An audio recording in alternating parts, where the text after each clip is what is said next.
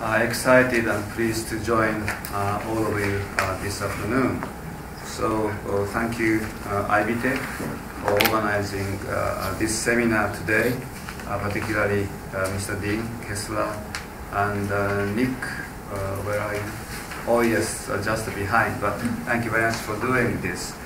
In close cooperation with Northwest, Northeast Indiana Regional Partnership, once again, thank you very much, Sarah, for doing this. Also, we have uh, uh, Northeast Indiana Works. Thank you uh, very much for being part of this program. So we had, as Nicole said, had such a wonderful uh, tour of Ivy Tech this morning. I came to Chicago end of February last year, and uh, my office covers 10 states in Midwest. Probably I have been to, say, eight or nine community colleges across the Midwest. But I was so impressed by the way education is conducted here at Fort Wayne, a very distinguished leadership of Dean Kesler.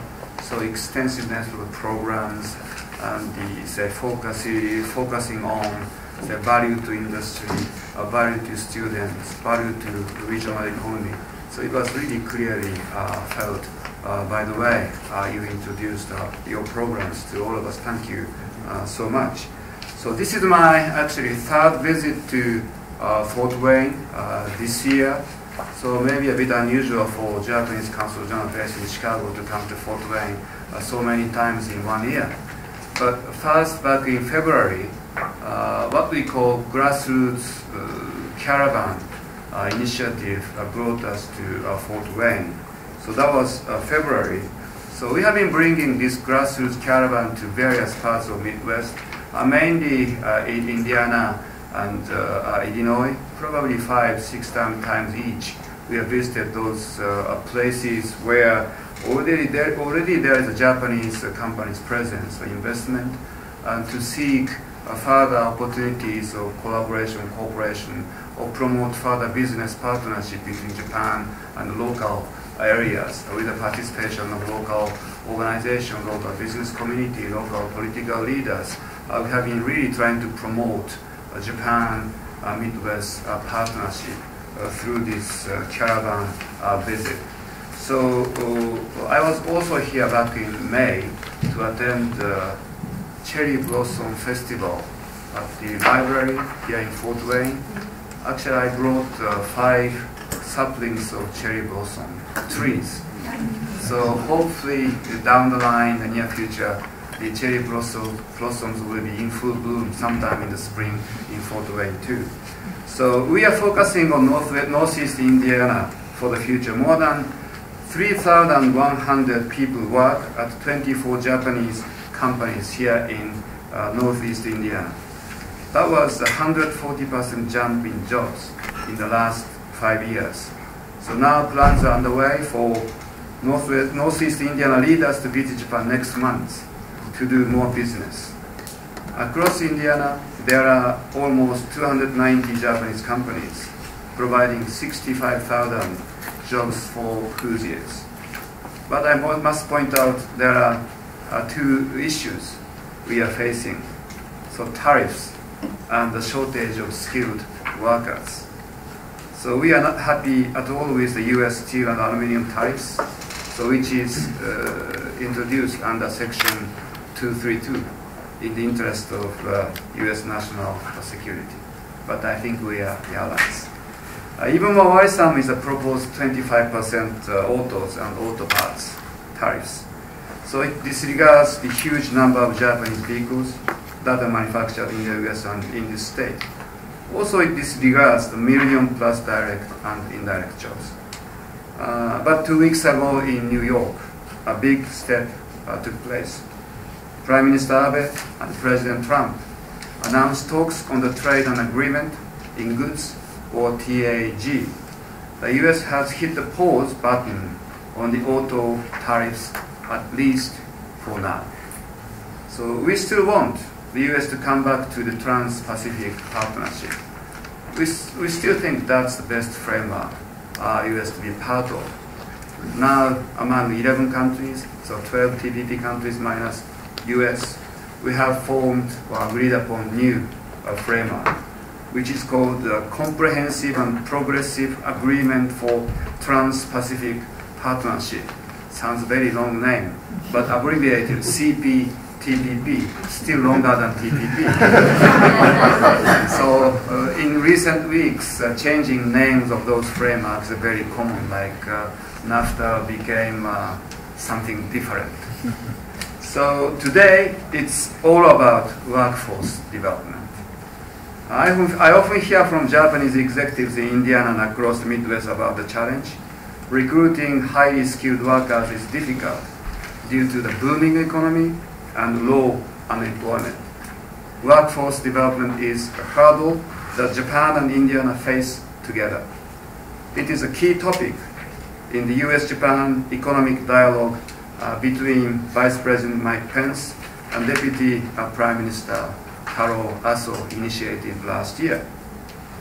As part of the follow-up to their meeting, we actually brought a special grassroots caravan on workforce development to Purdue University uh, last May.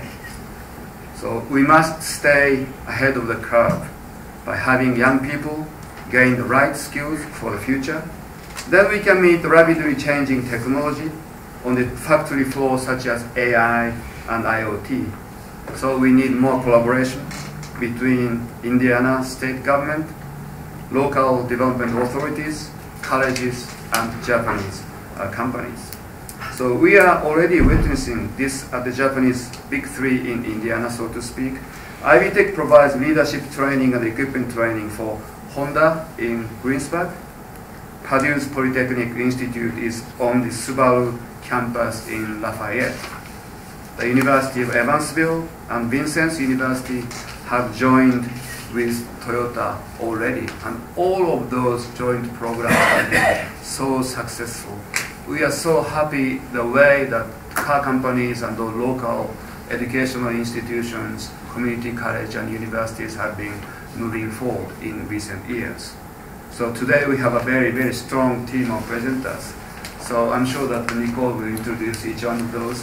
So that's why I will not uh, uh, do that. But particularly we are so pleased to have Tada-san uh, from Tokyo. Thank you very much, Tada-san. I know Tada-san is going to talk about how the transformation of manufacturing will affect the future vocational training.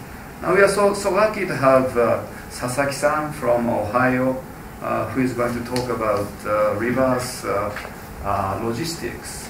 So it sounds a little bit a difficult topic, but I'm sure that Sasaki-san will explain in a very, very uh, simplified manner so that we all understand uh, where this logistic industry is going uh, forward. And also we have uh, one uh, official from our embassy in Washington, D.C., the Hisano-san, Katsuto Hisano. he came today uh, from Washington, D.C. for just for uh, this seminar. He has had a very good experience of vocation training back in Japan. I'm sure that all of you, all of you will be benefit from uh, what uh, uh, Hisano-san uh, has to talk about uh, later on. So without further ado, so let's enjoy the seminar. Let's learn something about workforce development this afternoon. Thank you so much. Thank you.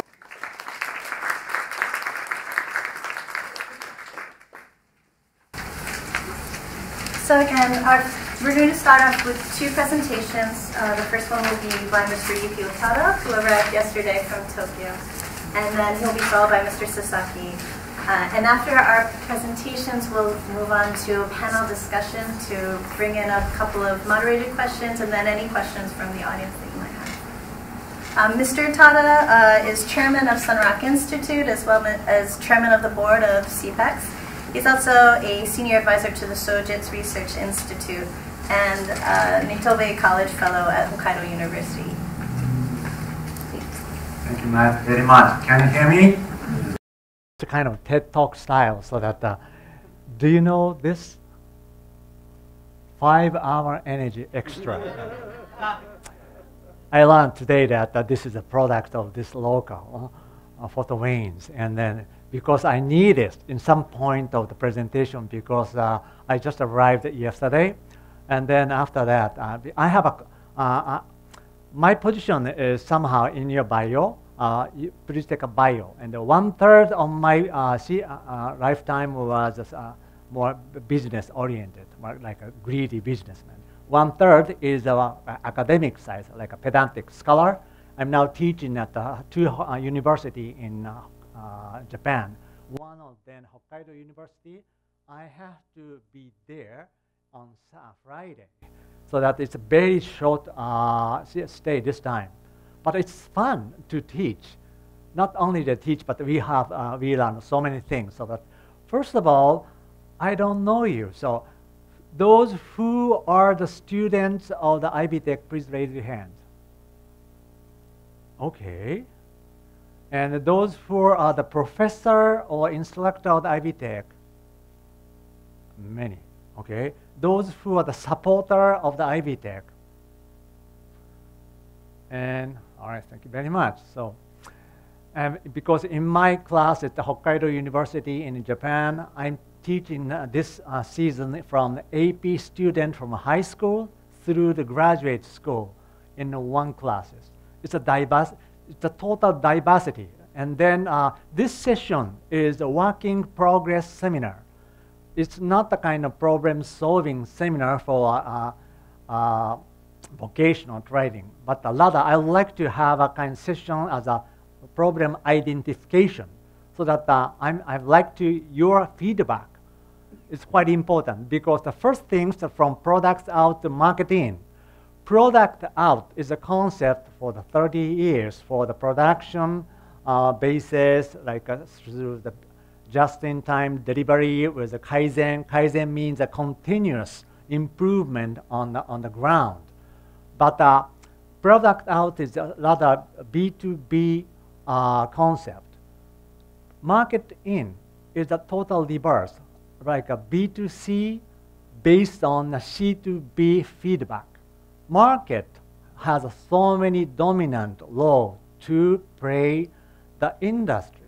So the so that's kind of the message I would like to illustrate it uh, before Mr. Sasaki's very innovative seminar, uh, speech after that. So my role is somehow three uh, points. So uh, primary role is provide guidance on the important seamless connection between number one, product out manufacturing and marketing service. So I, this is I already explained. The second one, uh, there is a disparity between the analog generation and the digital generation. It's very important. There's a word AI and BI. Used to be, people say that uh, that is the before internet and after internet. But now that I would like to say BI means before iPhone. And AI is after iPhone because internet see, uh, uh, provide us so many uh, information searches on the ground using a PC.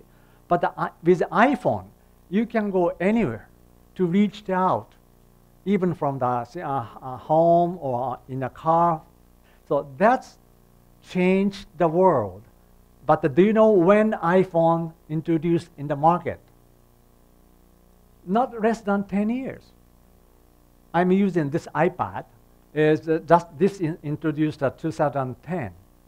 So the analog generation, I'm a typical analog generation.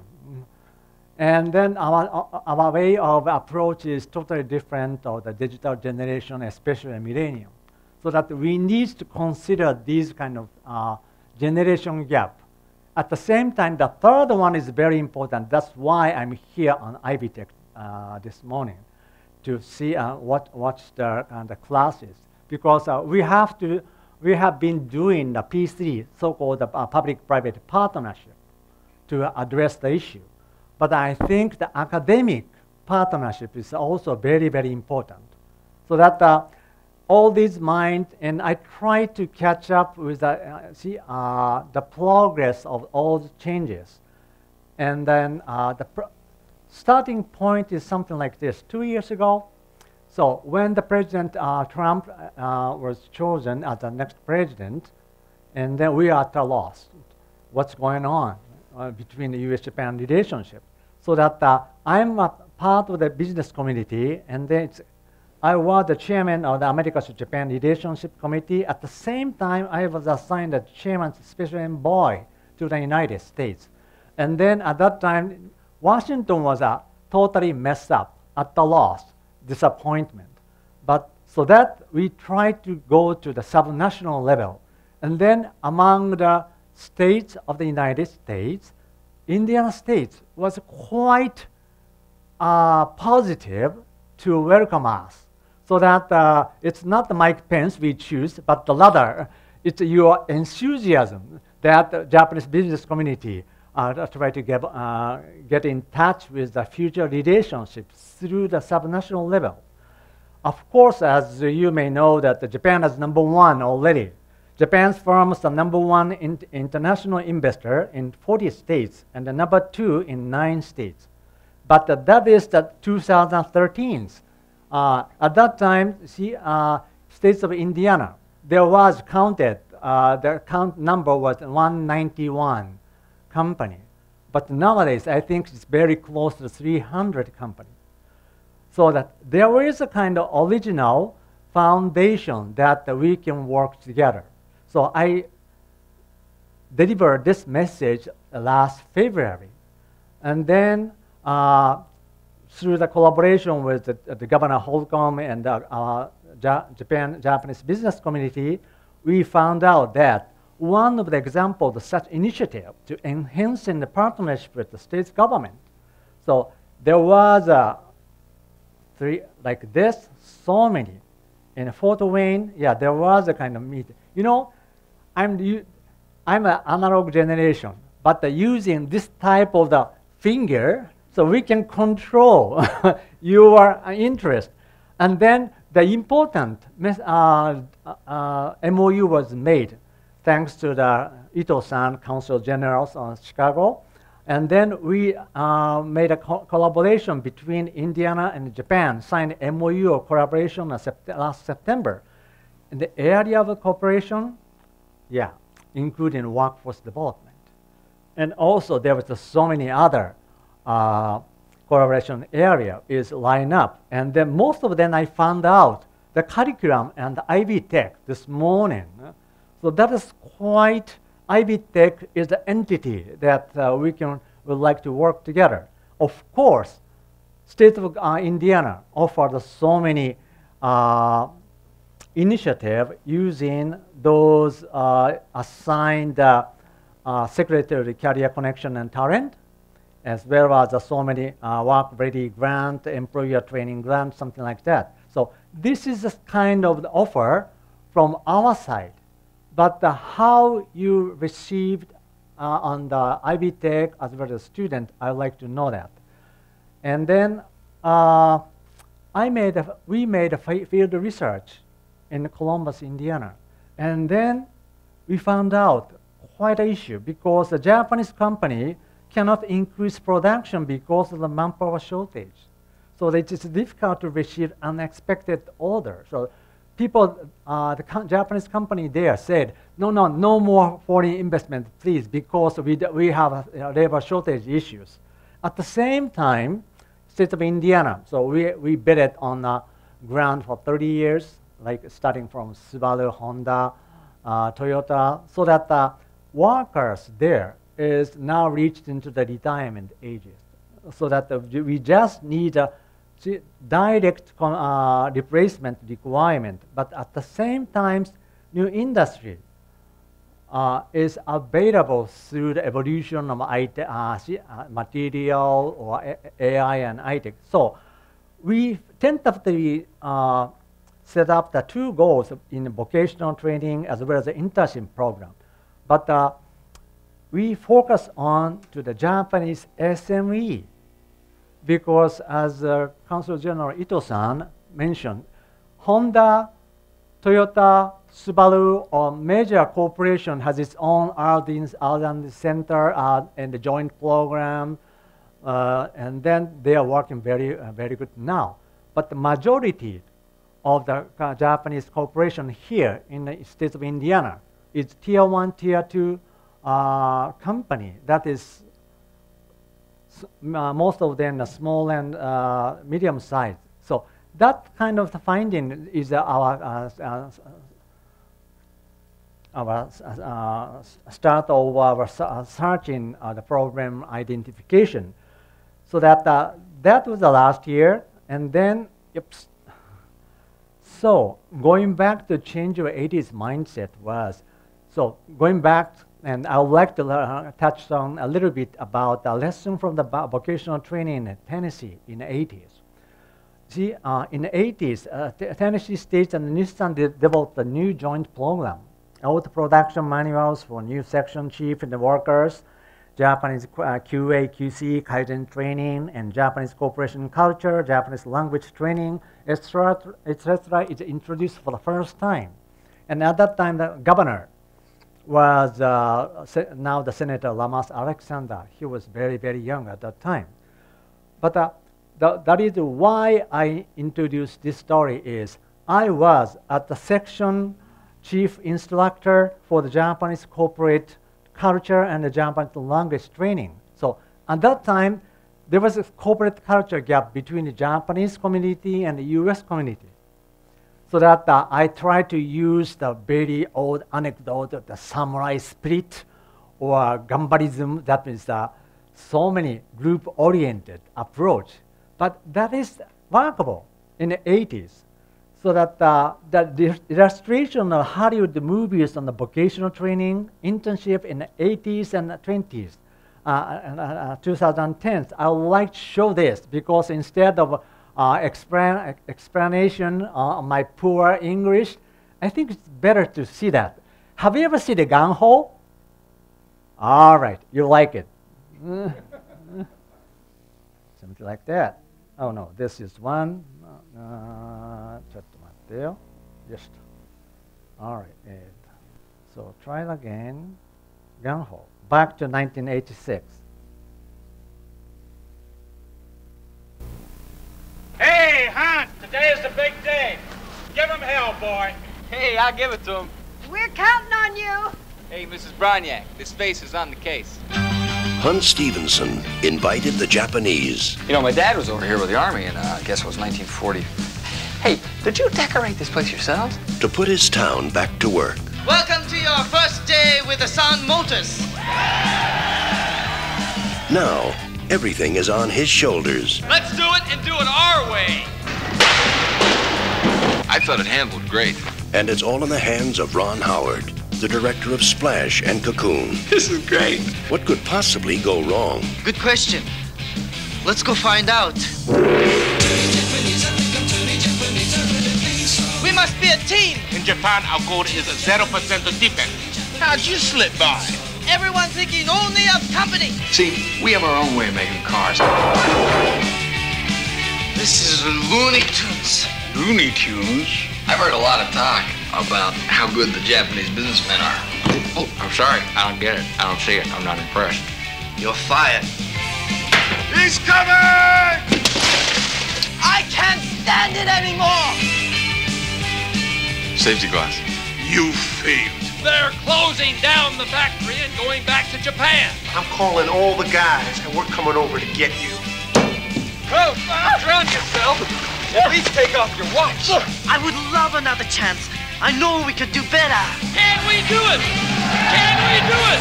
Can we do it? Paramount Pictures presents. I came to tell you you were great tonight. I was really proud of you. Michael Keaton. Whoa, yikes. Whoops.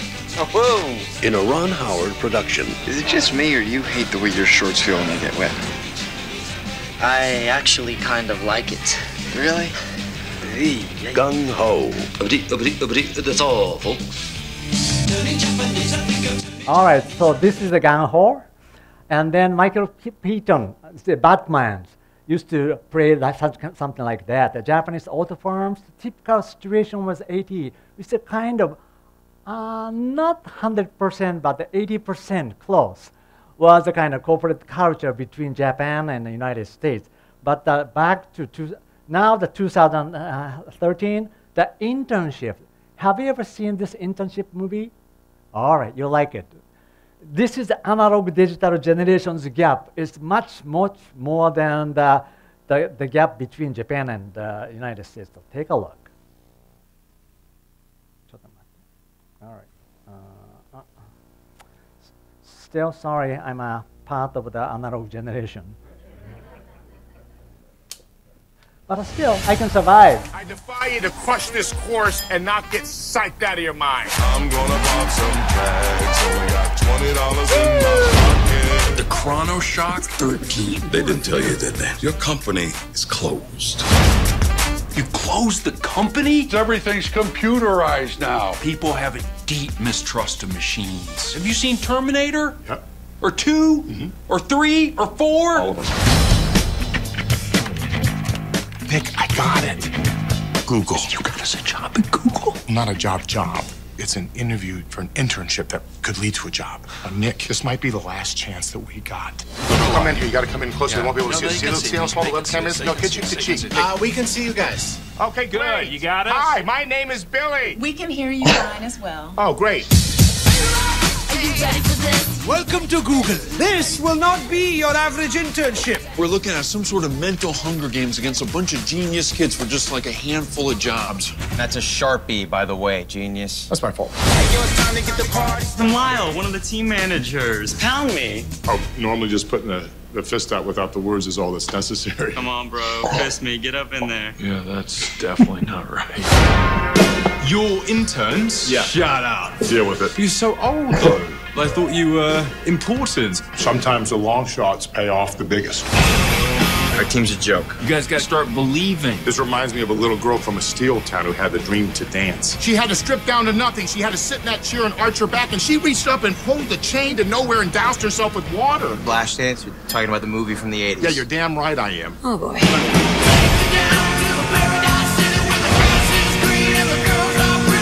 Have rules. The red paddle indicates no, green paddle, yes. Having a beer with your boss. You want to grab a cold one with me? You let me know. I will not be grabbing a cold one. Okay, so if you're interested in, please visit the website and uh, remaining thing.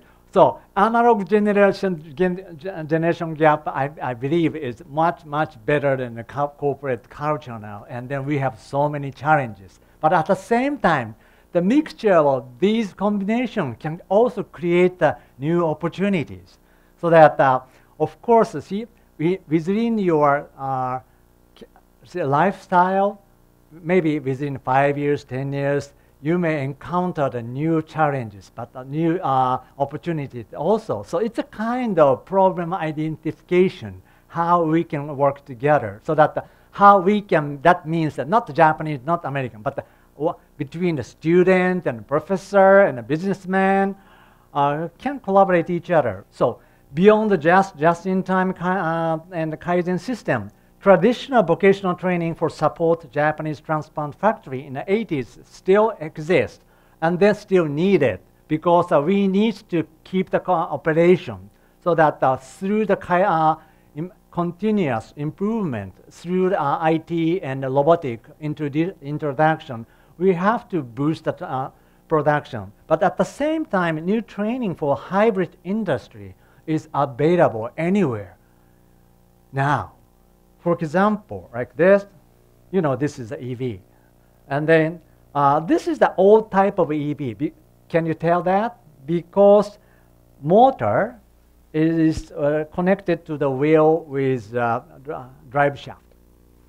But uh, for example, NTN drive shaft produced on the world, uh, uh, the biggest in, uh, production in the states of Indiana.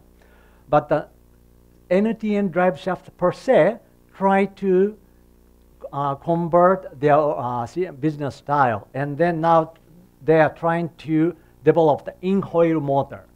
In-coil motor in in four uh, tire. In such a case, the drive shaft is no more necessary, and then the battery instead inside can be battery in-coil motor and then wiring, connect, uh, uh, any kind of the C, uh, CPU can be the next generation of the automobile. So that's kind of big, big change. Also, like this DCM. Do you know DCM? Data communication module is equipped with the newest model of the Toyota. uh, this is uh, Corolla Sports. And uh, this feature is totally connected all the time. So that uh, when kind of driving condition, accident, or air, tire pressure can be monitored. And then in the next generation, steering wheel can deliver your uh, like a heartbeat or blood pressure or in a thermal temperature so that uh, hospital uh, is ready or insurance company can also ready. so those kind of things is happening at the same time. For example, like this. So this is a kind of uh, so many sensor available to monitor for the ADS, uh, Advanced Driving Assistance System. And those are the long-range LiDAR. LiDAR means a laser, uh, like a blue laser or fluorescence or whatever, and the camera and uh, ultrasound. See, so many uh, monitor sensor is available, but the producer of this sensor is something like a uh, Sony or Pioneer or Panasonic. So it used to be just a kind of audio, uh, radio, and component uh, type. But nowadays, those are com those companies are the mainframe of the next generation. So we have to consider all these things in mind. And then in, in case of like a uh, data communication uh, module, so the consumer user has a more bigger voice to uh, define the, uh, the uh, automobile type and then even before that, uh, even more than that, there's uh, so many challenges on the way. You know, I'm always uh, like to show this because I, I showed this for many, many times of the Fuji years. So we can do it in human power. That is the 80s. Nowadays, maybe robotics and human power working together. But uh, in the next generation, AI, Android can work together uh, completely well. So have you ever been to the Lafayette Subaru production site recently? They modified every, uh, say that a couple months. And the newest stamping line was that there was a two line, and the one line is a conventional human power and the uh, robot working together. But on the newly established stamping line, it's just the AI and the robotic only. Of course, the one person can monitor all the time, but just doing nothing to watch the monitor. So that's kind of things that uh, we have a challenge in from automobile manufacturer to diversified high-tech industry. And uh, again, high-skilled labor force is quite important. Sorry. So summer. And uh, new threat is also create the new challenges so that the opportunities also uh, is available. So for those who learned skill uh, at the Ivy Tech, so please consider how the world is changing dramatically. So new business, AI, AIT, ADAS, case. Do you know the case, right? Connectivity, autonomous, shared electric, and mass, mobility as a service. So those types is now coming in one by one uh, within five years.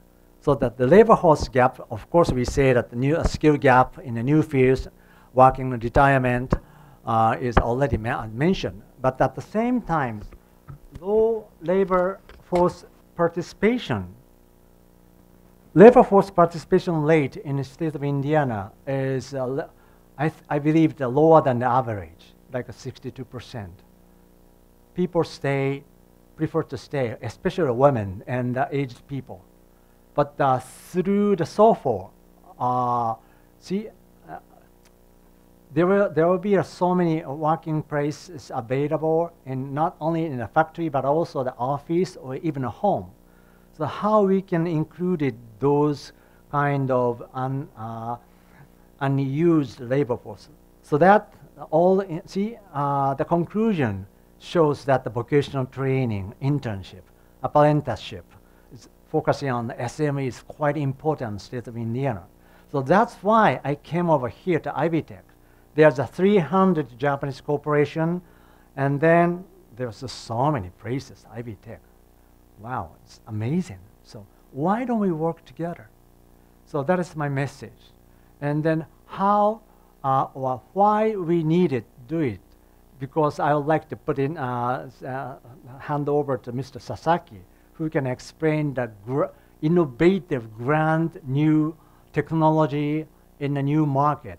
Because those new market is necessary uh, to consider in our joint program so that uh, for the further uh, information, I would like to ask Sasaki-san to cover. And then for the further Q&A or feedback, please give us.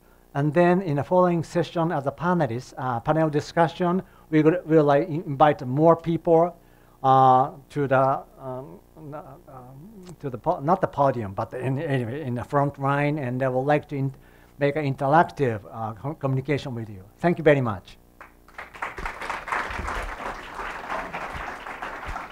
Hi, good afternoon, ladies and gentlemen. So thank you for having me today, and then thank you for coming out to this uh, seminar. Let me see. Uh, yes, my name is Yoshihiro Sasaki. I'm, you know, chairman of CEO of Funai Service Corporation, located in Ohio.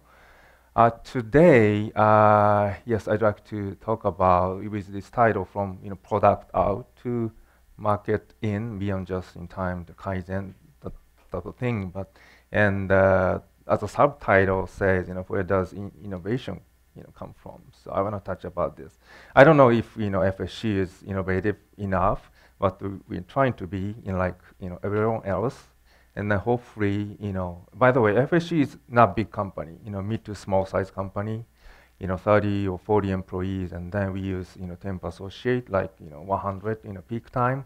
So I was told by Mr. Kesler yeah, oh, today, you know, the you know, this, you know, area, you know, is supported, you know, or, you know, mid to small company join the industry too. So hopefully, you know, this presentation a little bit, you know, help for you to take one step forward to be innovative as, as a company. And uh, let me see. Oh, shoot. So yeah, this is a little bit you know, quick introduction by myself. So I have a over 10 years of experience in, in uh, reverse logistics. And then maybe you know majority of the people might not be familiar with the reverse logistics, but uh, you know if you buy product or merchandise, you, know, you can make you can return for free, right? No penalty, no nothing.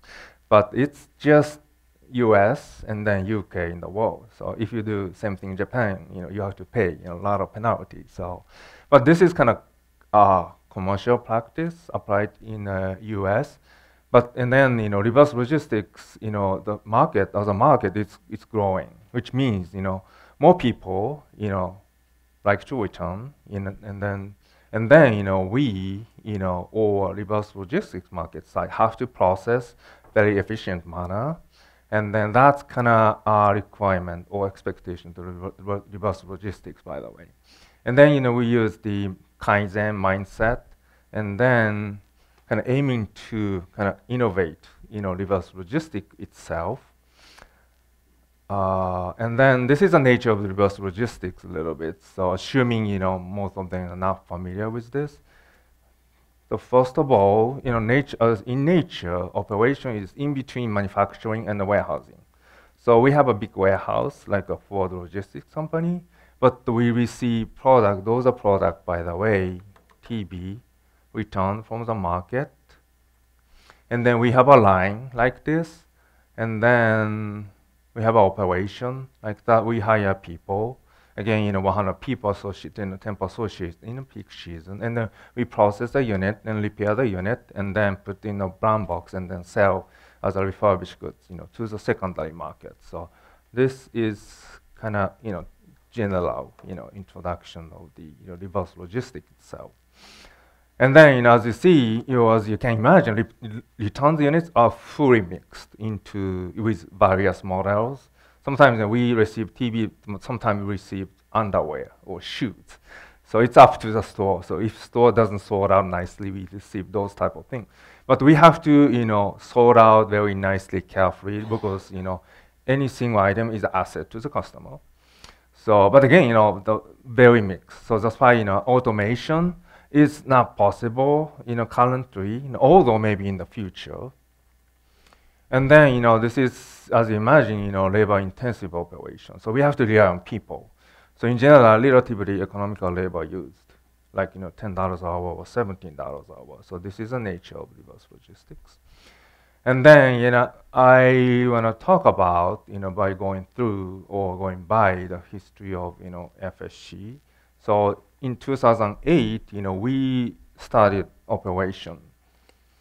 But uh, at that time, it, you know, due to multiple reasons. So we have to, you know, we, you know, before 2008, we used the uh, outsourcing company, like a professional company, you know, to take care of the order return but they, their job was kind of pretty, you know, poor, poorly done. So that's why we have to take back that responsibility function back to us. But unfortunately, you know, we didn't have any professional people in there. So that's why, you know, those, you know, four headaches we had at the time. And first of all, you know, again, no professional trained members, and then no operation process. We saw, you know, the outsourcing companies operation, but we didn't have, we didn't own the operation. So and then we didn't have IT system, and then we have no budget is very tight. So what we did was, yeah, we were like that. and then, you know, but the only thing we, we, we were able to do, and then, you know, it, you know, the, th this was, you know, we didn't have a process. That's why, you know, we just, you know, we can only do is the, you know, utilize logical thinking. You know, what we have to do, what's the requirement, you know, what the step to take, and then you know design process from very scratch, and then that's you know kind of one solution for us. And also no IT system. We didn't have IT system, but reverse logistics have to be supported good IT system because receiving from receiving to ship out, inventory, repair, you know, function check, all process has to be supported by IT system. But we didn't have it then around 2008, it was very common to outsource, you know, IT system development, but we didn't have a budget, so we made the decision, okay, let's make our system in-house. This is our direction and the solution too. And also we use, again, no budget, so we use the open source software, so which is almost zero cost. And also this is an important part, so no professionally trained members, but we had good members inside. So that's why, you know, we assign the duty to our associate, you know, performance-based. You know, regardless of experience, regardless of education, age, gender, we, we don't have a, we didn't have a luxury, luxury to care about that. So that's why, you know, we just go by the performance-based. So it worked out very nicely. And then as a byproduct, we, you know, we are able to set kind of corporate culture of going through this, which is, again, performance-based and also in-house development. I'm gonna touch on a little bit more detail later on. And then fact-based and then logical thinking. So those are kind of corporate culture. This is, you know, I think this is asset to FSC.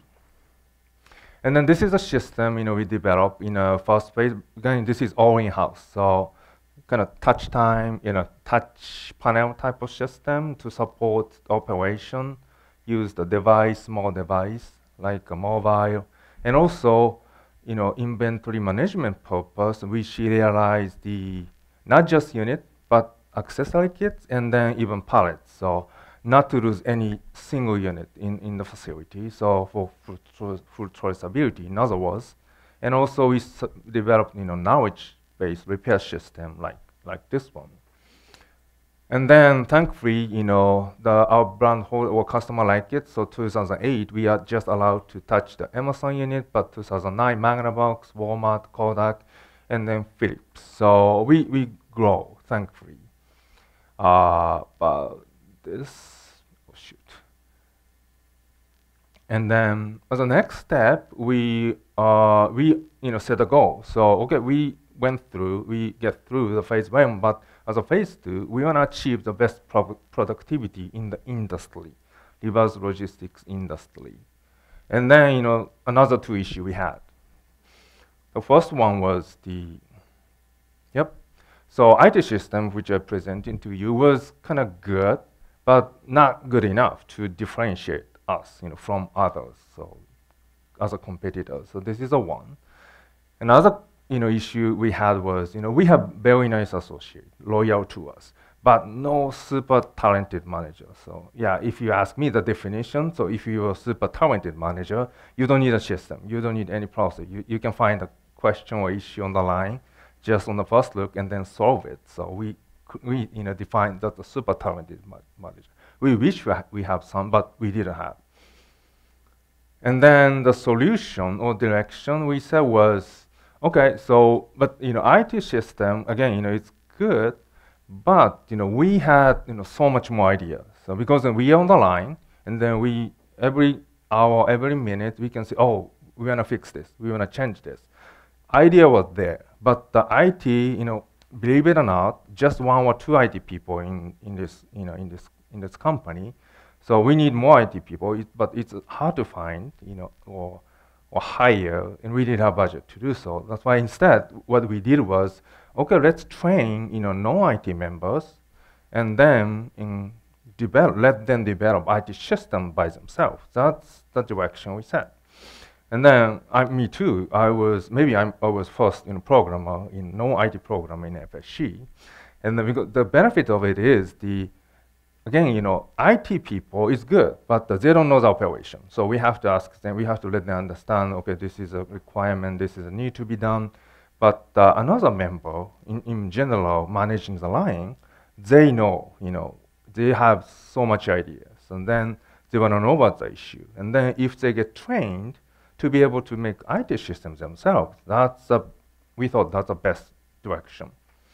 And another one is the develop IT. Oh, the, the this one, the super, yeah, we didn't have a you know, super talented managers, and and this is you know IT solution was applied. Okay, develop IT system you know, to help you know or support manager.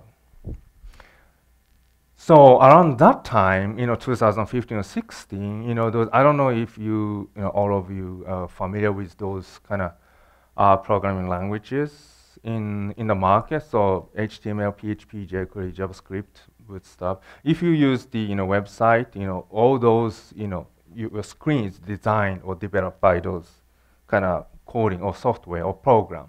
And also phpMyAdmin, that's the server software, and the Python, TensorFlow, that's kind of code or program used for the AI. So amazingly, you know, this is all free. So you can download, if you want to use it, you can download and then you can start from the first day even today. And then, so then we realize, okay, once we get then trained, you know, non-IT people get trained, cost is none. And then another benefit of being, you know, here, I mean, around this time is the, you know, YouTube or GitHub or Google, so much generous and kind uh, learning material is out there. And then, of course, you can use book. So we, you know, we did self-training. We set up the training program in in-house, and then let them train, and then so that they can do coding by themselves. Of course, you know, IT department, one or two people just but supported the training system. This is kind of what we did. And then this is a system, you know, we developed. Again, no IT people developed this one. This is clocking system. So, you know, each associate, including, you know, temp associates, has this small tag. This is RFID tag. This is very cheap, 10 cents, just 10 cents. And also the scanning system, this one black one is, you know, 20 bucks or so. And every morning they come, they scan it in, and then RFID, this each tag remembers, you know, okay, this tag belongs to me or someone, so with name. And then if you scan it in, you know, this screen pop up, okay, this, okay, th that tag was, you know, Miss, Miss Heather's, and then what she does was, okay, I work for level two DVD repair today. And then once she click it, and then the data is sent to the server, and then server can keep track of how many people are working, you know, real-time manner, and then how many hours are spent to, you know, each function. So those are functions, by the way, starting level on TV repair or inventory. So lunch break, short break, you know, even this, you know, this, you know, this system, you know, keep track of, you know, again, the how they use their time. So this is developed by non-IT people. And then if you develop this, okay, we have a clocking data. And then we have a, another data to show how many units are processed in a real-time manner again. And then if you put this together, what you can see is the productivity in every 10 minutes.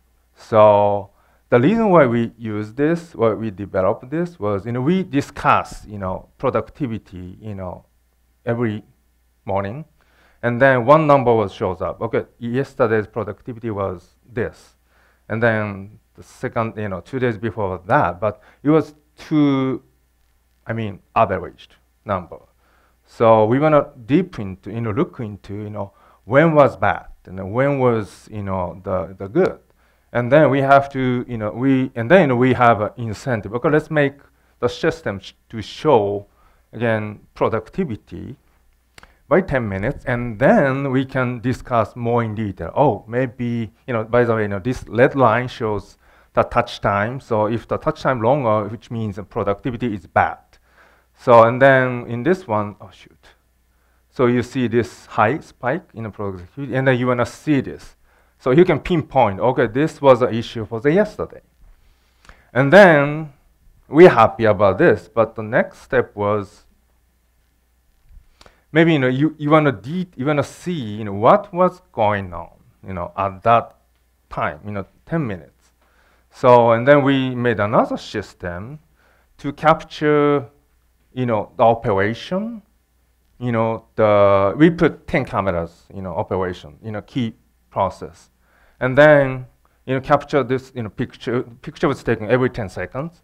So if you hit you know one location or one time, look at, let's say starting you know 420 to 430, the the the picture belong to that time frame show you know pops up you know real time manner, and then you can see what was wrong. So sometimes you know, people was not there. You know, even if you know shift is assigned or designed, or people wasn't. You know, people might be fighting each other, and then they're off the line.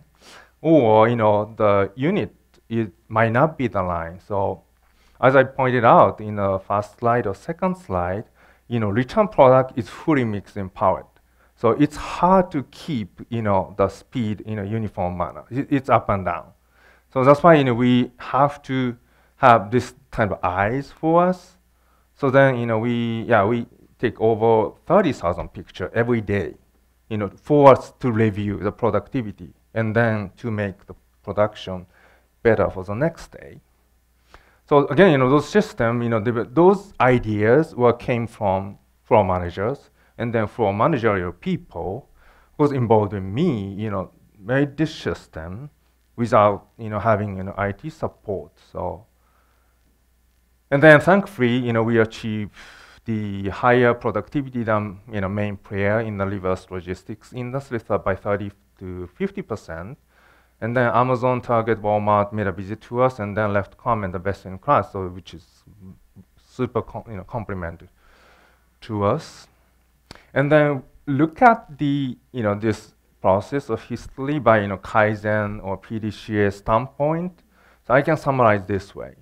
So phase one, you know, okay, we have you know in-house IT, so we can you know make uh, kind of uh, let's see, cycle run the cycle very kind of quick manner. But uh, if you use the you know no IT associates, because more people involved in, more people can start programming, and also the programmer knows the issue very very exactly. So they have ideas, they know the issue, and then if they can program, this PDCA cycle is very much quicker and then much larger. And then the, now we are working, FSC working, okay, let's, you know, based on the foundation we have, you know, we designed the process by themselves and also by ourselves. And then we design, we made a system by ourselves. And then, okay, let's make, let's put AI on the system we have. And then maybe, you know, some of them might be familiar with the, you know, AI or deep learning AI or maybe courses, AI courses is in, in the class or in, in the school. But you know, we, we started the project you know, last year, 2017. Before we start that, we thought it's too difficult to implement that by in-house. But the good news is, you know, first good news is the low cost, the initial cost. You know, what you need to have is the just server, just four thousand dollars. Uh, one server, one server is good enough to start with. So this is only cost we spend. And also another good, you know, news for you is the core algorithm or program is open, you know, by developer and then ready to use. Sometimes, you know, commercial restriction is applied, but uh, yeah, if you hit the, you know, github.com, you can, you know, pull, you know, source code of the AI program. So this is another good news. So of course, you have to collect the data or you have to learn or refresh your learning like a math, you know, calculus, you know, algebra, statistics, probability, a little bit, but not that difficult one. So those are facts of, you know, deep learning AI. And then what we use AI in the operation is, is this. So I hope you can see this clear. Let me do this. Yeah, we use you know, AI as our eyes, manager's eyes. So let me open this up. So you know, this, you know, this picture itself is taken by uh, you know, the camera, like uh, you know, 30,000 over 30,000 pictures in daily. But this you know, rectangle is output of AI. So you send the picture to the AI. You have to train AI first, and then so that you know AI can detect people in the picture. So and then if you see this clearly, AI knows okay, this is a picture, or this is a people. So which means you know two people is on the line. So this information is sent to the manager, you know, by email or by text, you know, to show if you know the the system. This system is linked to another system. So then you know if we design the shift, okay, four people has to be on the line, and then AI sees just people, it's understaffed. So that understaffed information is sent to the manager, and then, you know, because manager cannot be on the line because sometimes they have to be in the meeting or they have to do something else. They cannot be on the line always. So that's why you know we did this, you know, to support, you know, as as their eyes, and then support management. So understaffed, short staff, you know, we can detect by AI and also, let's see, once you train this, you know, this is a, a, the part which I like. So this, you know, it shows a picture. We train the AI to detect the TV. So then, you know, you can use this in AI as UIs. Okay, how many how many TV are on the line, on the shelf? Another good application here is the okay. This is, you know, this is a carton box. You know, before you use. So and then if you take a picture, you know, the picture shows the height of the box.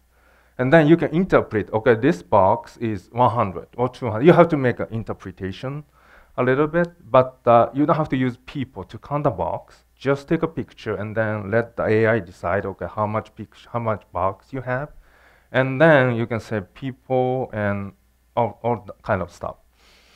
And then now what we are doing is the, let me see, this hopefully well.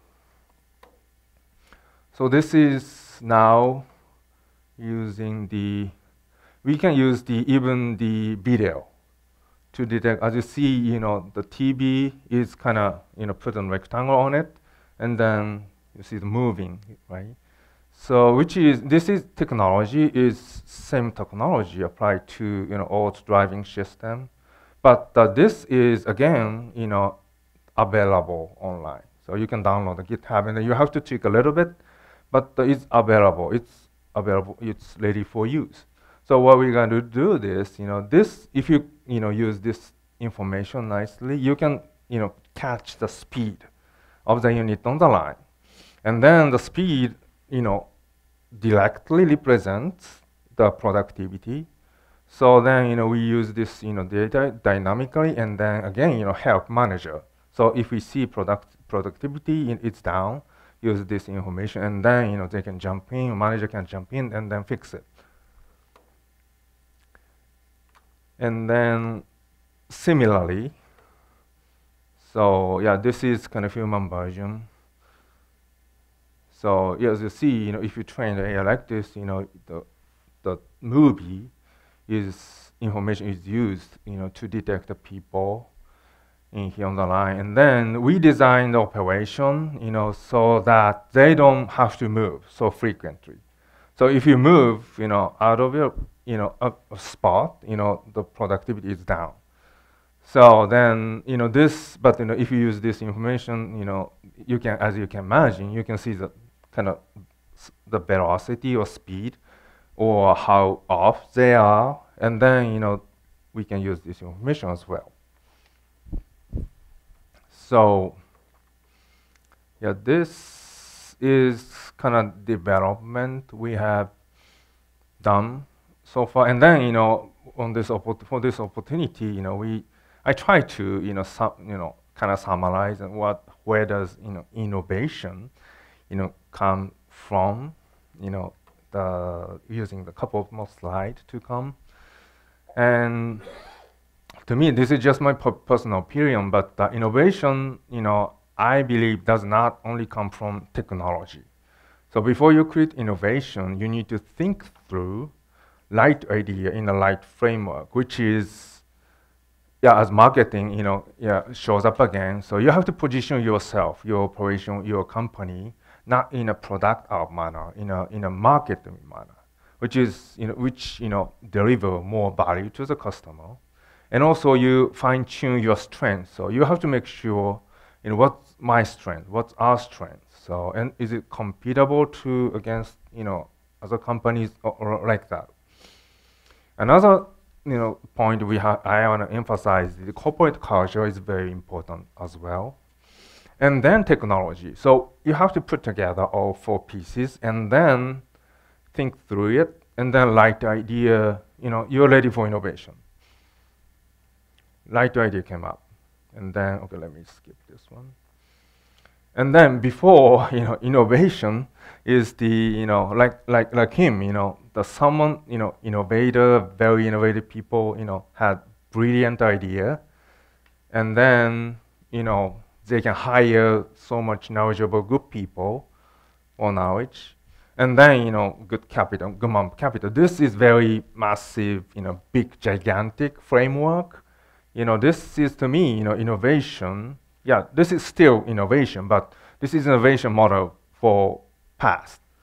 But right now, again, you know, knowledge is available. So if you have an interest and you just, you know, start searching, and also you can come back to the school like Ivy Tech, and then now you don't have to limit yourself. I am this specialist. I am that specialist. You don't have to.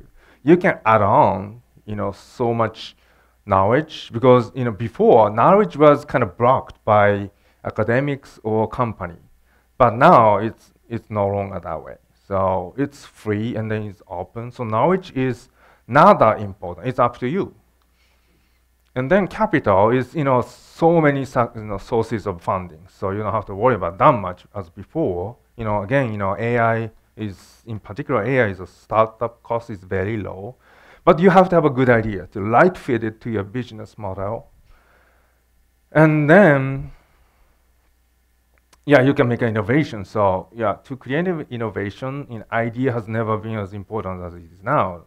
And then you can find, and then this is another suggestion or another finding, you know, of mine is you can find your idea in your operation. So because uh, you can observe so many mistakes or so many try and errors or so many things. This is your advantages because no one does have such information. It's not the data or experience is not sold anywhere. This is just yours. So, and then you should take full advantage of the situation or data, and then you can come up with idea. And then you can make a you can make an innovation. That's kind of thing will happen. And another suggestion I would add is the, you know, as we did, and as you know, as and I feel I feel very strongly. So we design process, you know, from very scratch by ourselves.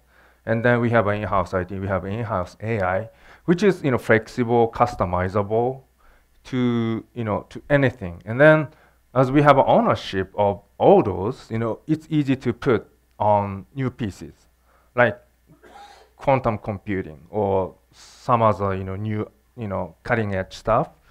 You have if you have ownership all this, you know, you can easily add it on But, but you know, if you just buy some technology someone else, it's hard to do so.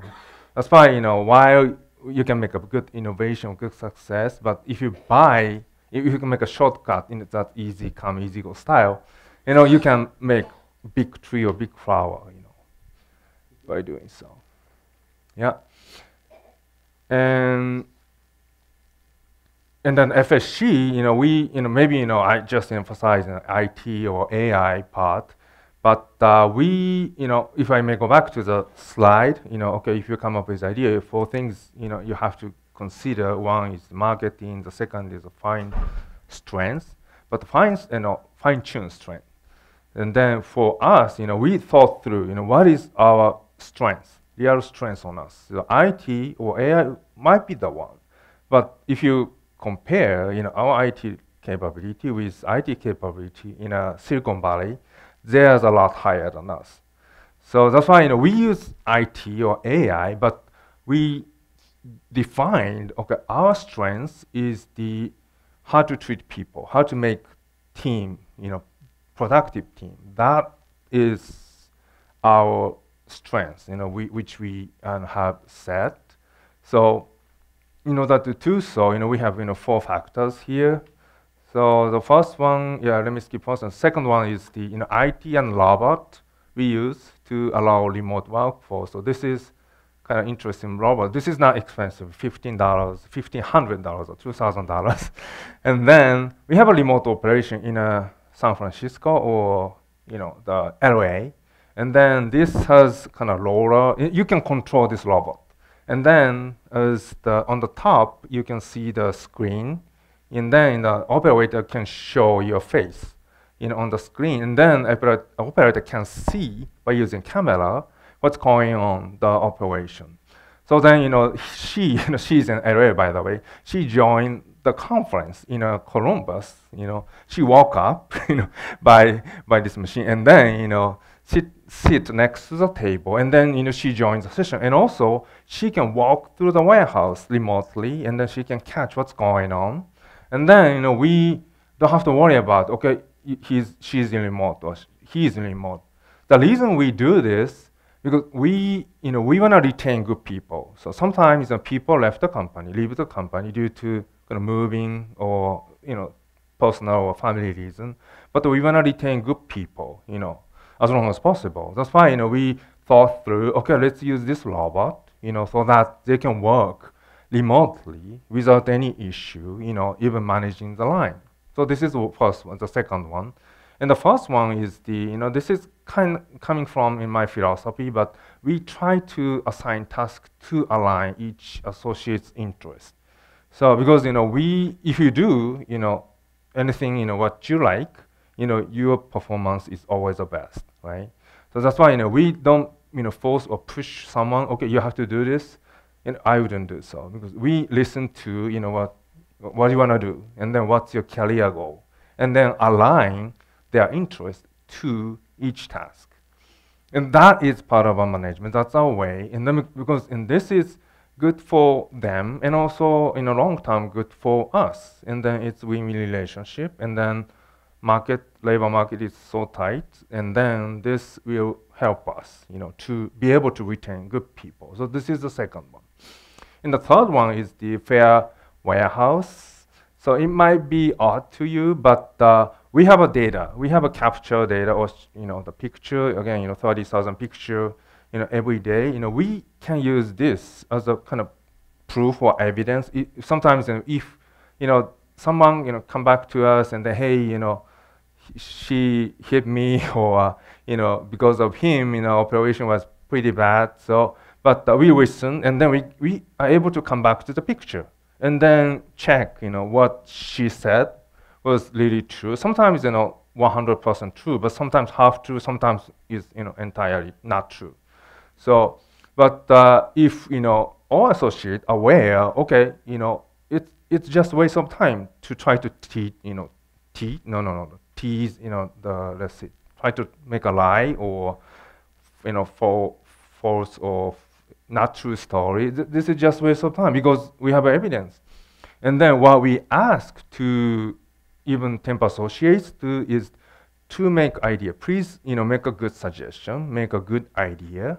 So because you know, creating idea or you know the most important part, you know, innovation, making idea, you know, come up with idea is at least now is only human can do, and then AI cannot take over. I don't think it will happen, you know, very quickly. Maybe in the future, you know, 100 years, but right now, so we have to position the human ourselves. Okay, we are here to, and then the reason we can hear is the, to make a good idea. So that's why you know, we want to roll out this concept to all temp associate even. And then yeah, that kind of thing, you know, we again, you know, this is because we said this is our strength, and then this is kind of framework for us. And then once we make good system, we can differentiate from others a lot, lot better. And this is the last slide. And then, you know, FSC is a company, even small size, but uh, we have to be, this is kind of fundamental uh, expectation to the company, not to mention, we have to be, remain, you know, we have to be competent to remain in the industry. And also we have to create value to the customer and also shareholder, you know, we have to generate profit to them. This is the very basic function.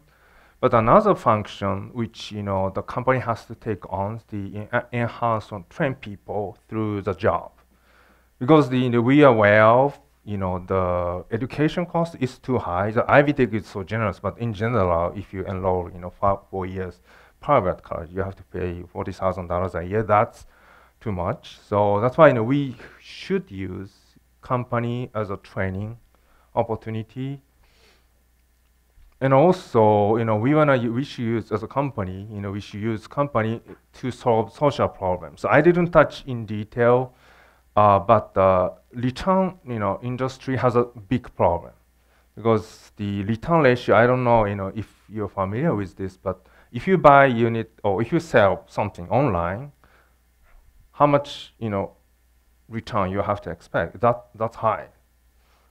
Thirty percent. 30% customer make a return. So if you sell merchandise online, that's not sustainable. The, thanks to that, you know, reverse logistics market is growing, but it's not sustainable at all. So we are now in the reverse logistics industry, FSC, and then we have to come up with some solution to kind of win-win and then, you know, ease the problem. So that's what FSC is now working on, discussing. And then maybe we we will, uh, we are planning to uh, start up multiple locations, not just Columbus, you know, Indiana or West Coast or South. So because you know, for not just for the business, but for the but also for the training people or create job and also solve the social problems. So the thankfully in the near future, so uh, FSC open up the location in Indianapolis or th this area uh, Fort Wayne area, and hopefully we can, I can work together with someone in, in this room. Thank you for your attention.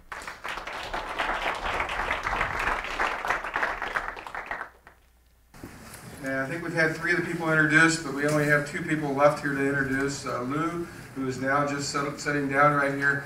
He is a substitute for what we had originally uh, put into the program of Bob Parker. Parker is on our program for the uh, AART program, the Advanced Automation Robotics program. We have at Ivy Tech one of our premier programs uh, that leads, uh, that was actually developed with uh, Toyota uh, in collaboration with Toyota, so a lot of Japanese influence in the development of that program. Lou, or Lou is going to substitute because Bob's at a, uh, a professional development training uh, up in Wisconsin for Industry 4.0 as we're preparing for the uh, future. And then our second uh, new individual in front here is John Sampson. John is our president of the Northeast uh, Indiana Regional Partnership here. Uh, I was actually very interested, John, as I was looking back some of your early background right there. Naval Academy graduate. Sure. Uh, aero, aerospace engineer, or uh, in that line anyway, and a nuclear engineer operator as well. Uh, I was fascinated. I did not know that. Couldn't, uh, couldn't, figure out what I wanted to do. I, I see that. I see that. Uh, and you dwelled in some real deep areas there that were tough too. Trust me, I know, because uh, I've had some education in that myself. So with that introduction right there, what I'd first of all like to do is open up to anybody in the audience that first of all may have a question that they would like to give to the group on the panel right here. Mr. Bell over here. Hi, I'm Andy Bell. I'm the department chair for the engineering program here at. Here's a couple of my students. so my question deals with students. What specific skills should students have that we should be teaching them to support this, this effort? What, what kind of skills should we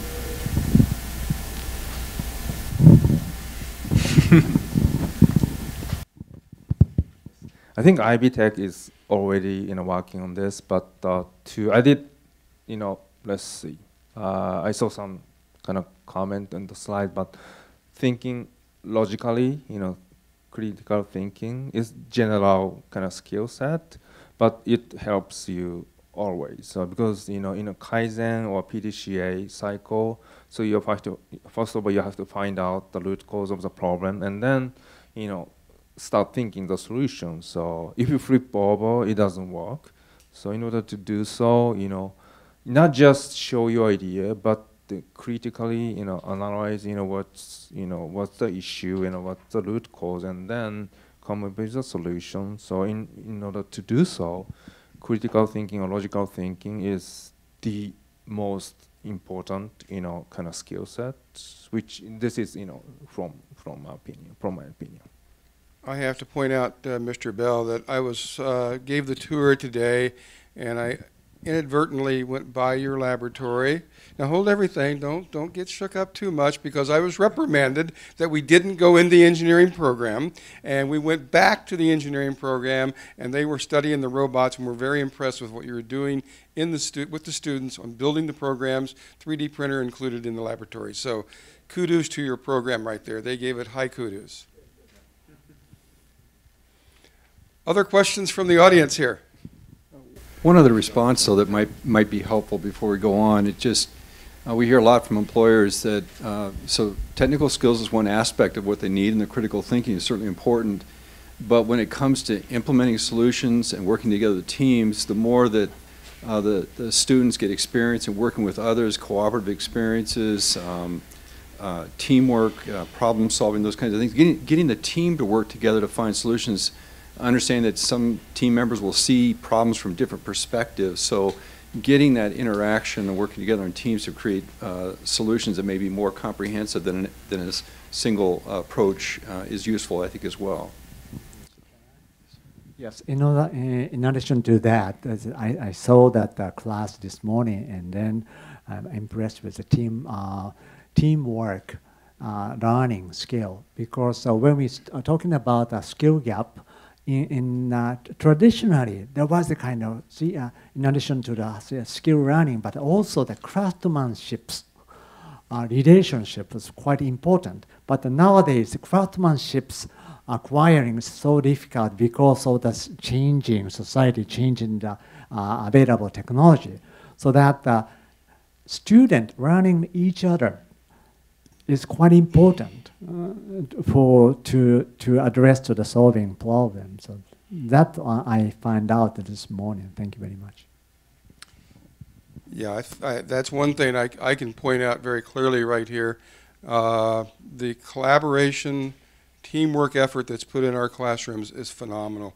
And uh, the employers are very grateful for what we're doing with that. Lou, would you like to expand on that, uh, what we're doing in collaboration?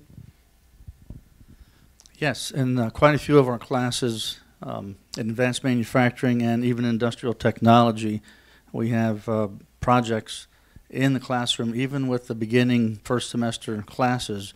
And these range from discovery based to project based learning. And in some cases, we'll throw the idea out to the students here, find out how this works and how would you fix it, and let them work in teams and groups to find and fix the problem and solve it it works very, very well. Yeah, I might add to that right there. Those are very ill defined projects that they're assigned. They're given very little information. They have to do everything. And it is very challenging to them. But what's very interesting is they thoroughly enjoy it. they thoroughly enjoy those challenges and they do very well in them.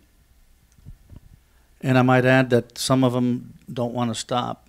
Our classes are four hours long, and I can easily sometimes use five and six hours, believe it or not. And the pride is amazing too. I was here on a Friday, which we have very few classes on Fridays. And uh, I was in my office, and, and a student came in, one of uh, your students, Lou, and he said, "Can I go to my? Can I get in the lab, please?" And I said, "Sure. What do you want?" He says, "Well, I have my girlfriend here. I want to show her my project." That's pride. That's pride. And so that, that shows you that they're enjoying it and they're getting a lot out of the project in my mind right there. Other questions from the audience here? I have a question here for Mr. Tada. I heard that you worked on an initiative on workforce development and surveyed Japanese companies with operations in Indiana.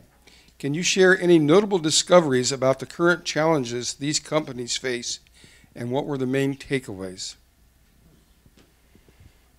Okay, so uh, the last year we conduct uh, the, the, survey among the Japanese corporation who has uh, operation in uh, in state of Indiana, and I scattered uh, we scattered 166 companies headquartered in Japan uh, to find out what is the issue they have, and then returning ratio is about more than 50 company uh, return ratios. It's a quite positive sign. And also, there, uh, the, first of all, there was like, enthusiasm to keep uh, the, the, operation in the state of Indiana and then uh, continue to make more new investment. But at the same time, they uh, find out some kind of workforce development, the labor shortage is quite an issue. And then uh, new technologies available, new markets available, so that uh, uh, we found out the major company are quite good at to address those issues through their own R&D center or uh, in-house job training. But SMEs, tier one, tier two, has a hard time and to find out uh, the new opportunities. For those who stick to the old uh, uh, framework, still sorry, uh, too difficult to change. But at the same time, see, in, uh, the SME are classified in twofold. One is a kind of family-owned SME, a very traditional uh, way of thinking and then stick to their own business. But uh, tier one, tier two, uh, another uh, uh, company are facing to challenge as well as the new opportunities. So uh, they are ready, uh, ready to uh, change to the, uh, the new uh, uh, job opportunity, new market opportunity. But at the same time, you see, the boss had a hard time to find out the proper workforce in, in, their own production site. So that is the kind of starting point our reached out the, the initiative together with Ivy Tech. Thank you very much. Very good. Anybody else in the audience have any more questions at this point? Uh, yes, back here in the back. Uh, I don't have a microphone for you, but. Uh, um, when it comes to the workforce, are you searching for um, professionals that have a degree, um, for instance, from Ivy Tech or a four-year institution, or are you looking for people who are part of the manufacturing or, or hard labor. Did everybody hear the question okay? Okay. Okay. I'm, so uh, this is a kind of proper teamwork building. Of course, that's, uh, for example, Ivy Tech certificate ensure has a kind of certain credit from the beginning. But uh, traditionally, uh, see Japanese companies uh, operation-wise is on-the-job training so that uh, each company has its own uh, uh, training style, management style, so that uh, sometimes you see, in case of the transition of the existing position, yeah, we, we can address to the kind of certain proper uh, on-the-job training st uh, style. So that, uh, it's a kind of personality or capability we care. But in case of the new segment, in, for example, for automobile sector to the like a life uh, industry or medical science, so that uh, we don't have enough resources to judge uh, the, the, new workforce uh, requirement. So in such a cases, yeah, some degree or a certificate might help. But how about uh, Sasaki-san? So the FSC is in the reverse logistics uh, industry. So it's again you know, in between manufacturing, low low level manufacturing, and then warehousing. So I don't think you know warehousing is kind of uh, taught in any you know the kind of college you know college like that. But in general, in the college degree or associate you know degree helps as long as you know you can apply or you can yeah you can apply to you know new new new issue real problem. So if you just have knowledges and then it's not applicable to you know solve the real problem it's the value is not that high. But if you observe what you run in the college and then you can ready to apply your knowledge, your skills, so including the you know critical thinking, that's so valuable. So I think that's a big advantage being kind of enrolling the college or community college or Ivy Tech college, and for you to be ready to make a jump start and then creating value of the real life, you know, real problem solving from the first day. So, and application, you know, readiness is, I think that's a key. Do, do you understand? Do I, I understand. Yeah. yeah. Okay. I was going to ask, add to that, uh, which would you prefer? Would you prefer to have a ready trained individual that we sent to you for employment?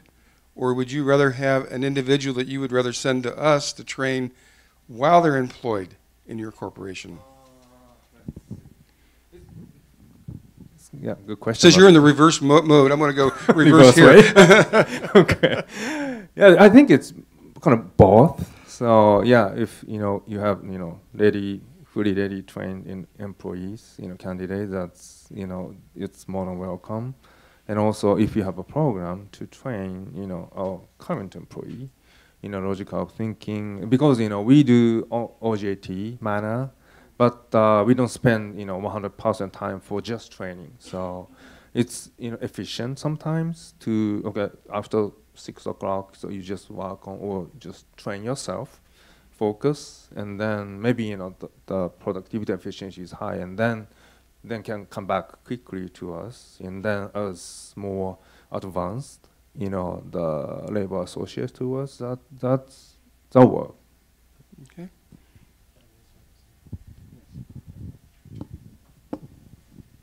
Also, uh, I'm Katsuto Hisano from Embassy of Japan. Thank you for uh, inviting me.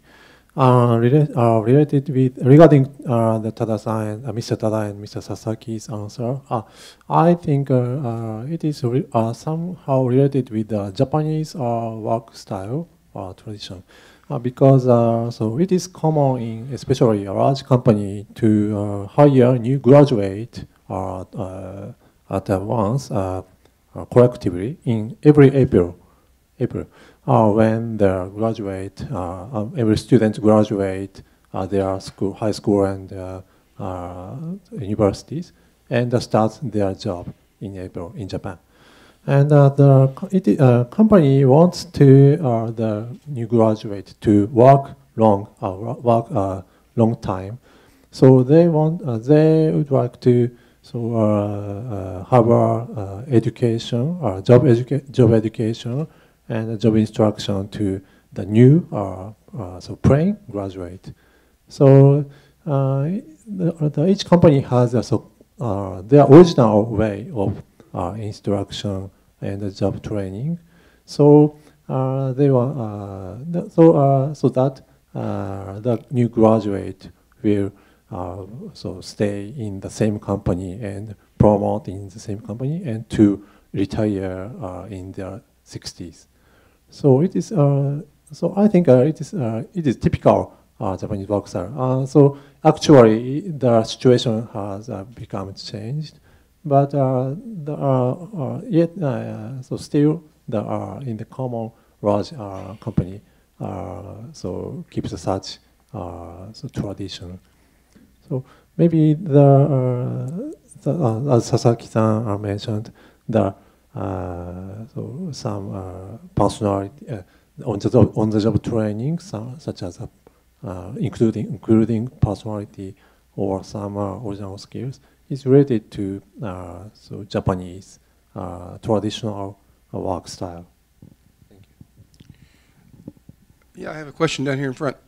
My name is Ali, I want to say thank you for all the information you gave us from 2008 to 2018 in one hour and a half. That is really good quality. I have, uh, I just I wanna, I just I wanna point the question to Mr. Zaki, President and the CEO, if you have any story that's or a solution you guys have uh, in the past and make big change.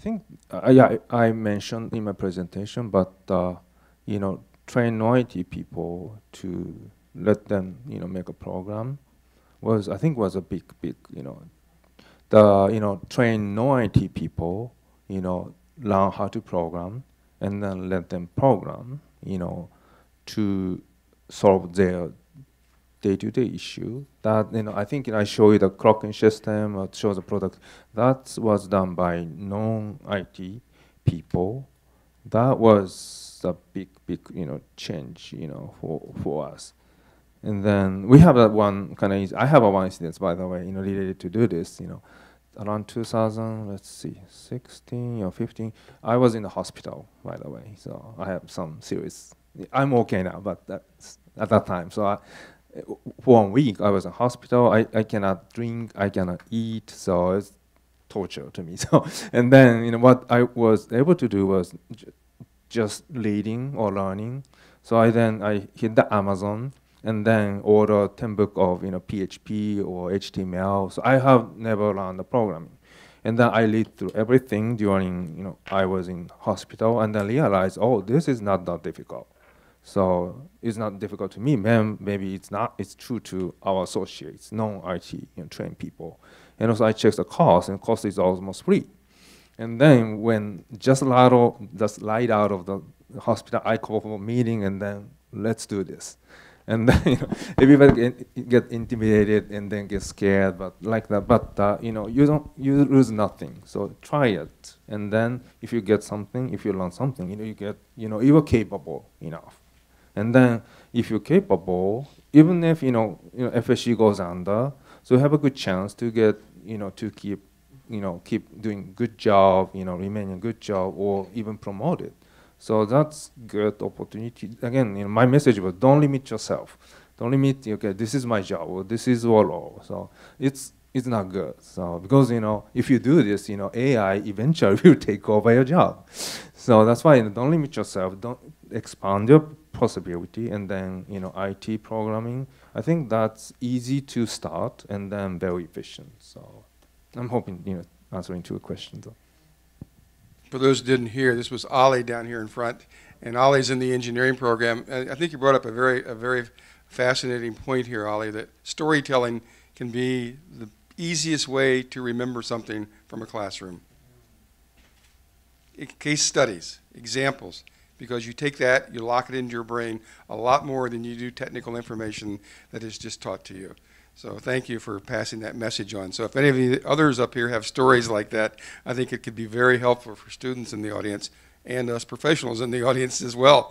Uh, so I know Mr. Tada's talks about teaching deans. I'm always learning. I'm always learning. So if you have any good stories for me, I would appreciate them.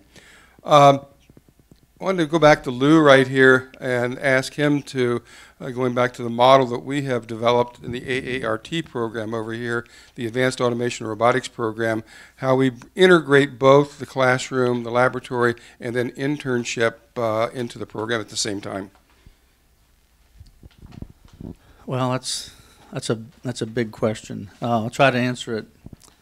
Um, by the time the students get to the second semester, they've proven themselves to be, uh, I guess, school worthy, and the employees want employers want students that are uh, not quitters. So I think that second semester um, standing represents a willingness to continue, and they have some discipline. They've already established some um, history with their attendance and their grades, and we have uh, employers that are looking for those students, and we just send them the information and let the students do the interviewing.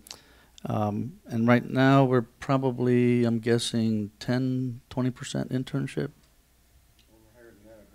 Um, and those those are old numbers. I haven't heard any latest numbers, but um, uh, we integrate that student into the workforce, and then he comes to class, and then uses his knowledge gained on the job to uh, troubleshoot, to solve the problem, fix the problem, and he shares his knowledge with other students in his work group or in the classroom.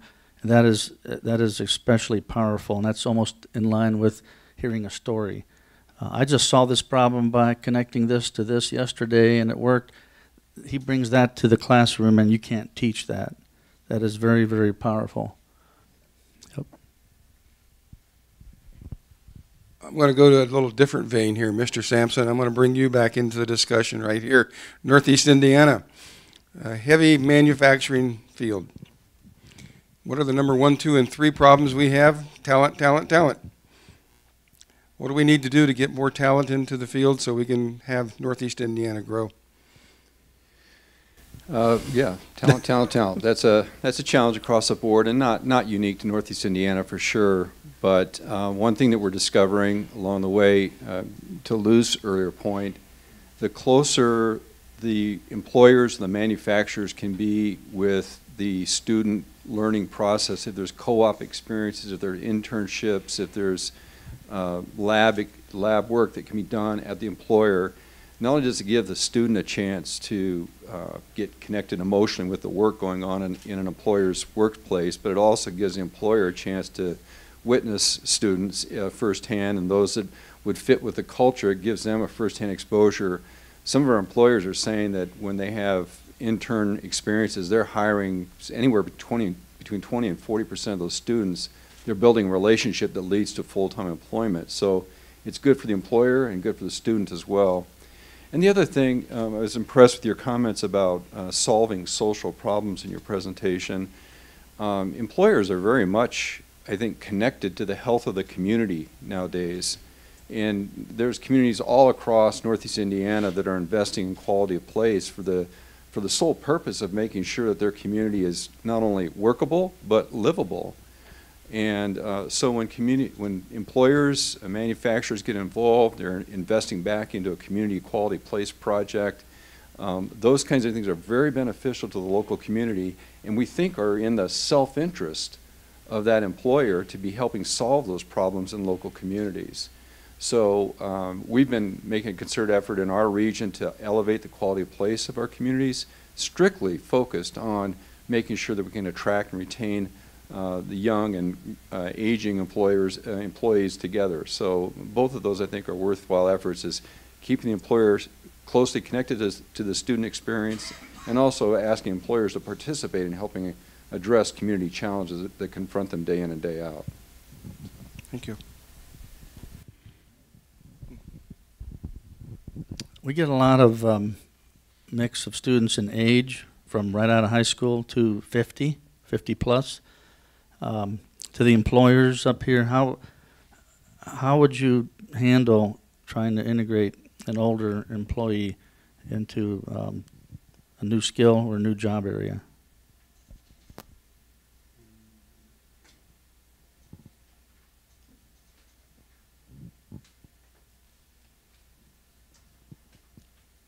Uh, one of the issues uh, we have found was uh, how to ensure the quality of life.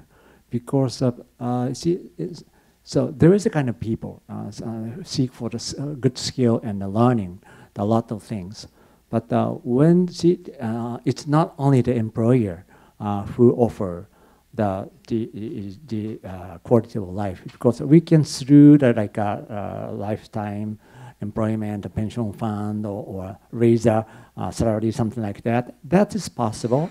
But uh, in other uh, see, social impact, I think, uh, see, uh, I, I, have a kind of reverse question to you that how in this region can improve their quality of life for the potential worker. So that, that is an issue that uh, we can solve uh, together. Uh, well, one of the things that we're confronting, um, so as our population demographic has changed over the years, um, I think employers that are they're becoming more creative and flexible about how they structure work schedules and so forth. Uh, maybe flex time is important. Uh, maybe alternating work schedules and so forth. And not only quality of life in the community, but quality of life in the workplace. Um, I think employees care more about those things. They're not just at work to earn, but they, it's something they want to enjoy and be engaged in. Uh, so I think that um, to the extent that employers can look for creative ways to be attended to the needs of employees, whether they're young or old, that flexibility I think means a lot more to the population today than uh, perhaps it did uh, when the, we were a little more uh, structured in our approach. So. Yes, The part of the project we are working on is the we have a system, you know, to to be able to see, okay, if we have a good production, good productivity or bad productivity, we can link, you know, okay, who are involved in, you know, because in general, you know, reverse logistics, a team teamwork, you cannot in general pinpoint, okay, this job, okay, he's good worker, he's not good worker. So, but uh, again, you know, we have a clocking system, then we can link, you know, kind of uh, who were again involved in, you know, this you know this time frame with good productivity and the other time frame you know with you know bad productivity. And then we can evaluate you know even you know temple associates uh, in a fair manner with numbers and then okay you're good you're not good. So i think it's kind of encouraging you know for them to be with us because you know, if I were you know hired by someone, I want to be treated fair. So if I do a good job, I want to get you know credit or appreciation like that. So in order to use in, by using the IT system, so we do so much effort to make that system or that environment you know happen on the warehouse. I have a question in the back here, but I'm going to first of all make a comment to all you employers out here. If you have a retiring aging individual, boomer, that's going to retire, we need adjuncts. And they are the best instructors in the world. Someone who spent 40 year career in business, we can train them to teach our students, and they have stories, Ollie, because they've been in the industry, they've seen the battle scars, they know what goes on out there, and they are very good instructors. So, to my workforce employers out there, we need help because our population is growing and we love our adjuncts. They're our, they're our life, you know, our bread and butter. Yeah, close the gap. Yep. Question back here. I guess I, I more had a comment to the discussion that was just taking place on a previous question. Uh, Keith Gillenwater with the Grow Wabash County, the Economic Development Group for Wabash County. Um, to your question about the second chance, uh, you know, employers are retraining adult workers. Um, we have a Japanese company in our community that has really been a nice case study for how that can happen. And uh, OG Intertech, uh, which is part of OG Holdings, um, uh, OG had experienced, I mean, to kind of to Mr. Kana, to your comment at, at, the very beginning about, you know, solving that workforce crisis and looking ahead to what those two big, what those big issues are facing uh, the Japanese uh, employers in, in Indiana and they had experienced around a 60% turnover rate for new employees, uh, and they've been able to reduce that to less than 20% uh, over the course of two years. And one of the things that they've done that is by focusing on those older workers that they can bring in. Um, it's not hard work that they do. It's uh, kind of light assembly, that kind of thing. Um, but getting back to that quality of life that you were just talking about, one of the things that they've done was they had to basically revamp what their entire hiring practice was, um, and including those things about how do you improve the community. And so um, one of the th they you know they instituted an entire system of how they get feedback from their employees. They gave them two extra days uh, paid uh, paid days off for them to do community volunteering work. So as long as they're doing something like that, they can get a couple of extra vacation days. Um, uh, all of those kinds of things, bringing in pizza party and uh, having the managers grill out for them one day a month. So all of those kinds of things that really don't have a large cost, but I think is a nice evolution of a Japanese company seeing what needs to happen for the workforce that they're that they have now, um, and they've been able to vastly reduce that turnover and. So much so that uh, we're, I mean, we're heading to Japan here in a couple of weeks uh, to visit with them to talk to them about how they've done that. So um, it may be worth looking into. Another beautiful story right there. Good story. Thank you. and the fact that we have so many international students that come to study in the state of Indiana, like Mr. Ali up here up front. And so to have employers, especially in the SME field, to consider hiring those talents who are already here on a student visa, I think we have a lot of employers who are hesitant when it comes to that, especially when it comes to sponsorship and understanding the investment that goes into it. Um, but it is in fact a, a need that we have, especially here in Northeast. And in particularly Fort Wayne directly, we have a lot of diversity. We have a lot of uh, un- unexploited talent laying out there in my mind that we need to be tapping into for these industries. So that's a good point to get into. We need to really get into those. We get a lot of those students here, but not near the depth that we need to be getting into. Thank you. Tony?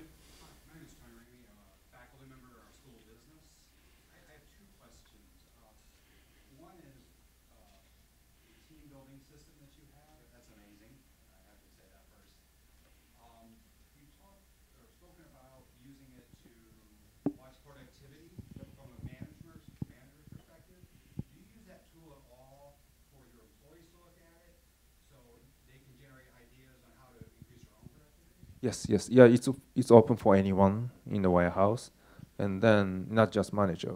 So, and then we not maybe yeah we, we are taking step by step. So, but we are ready to involve even you know temple associates even first day on the floor to review the data, and then you know kind of collect idea you know from them. So again, you know we.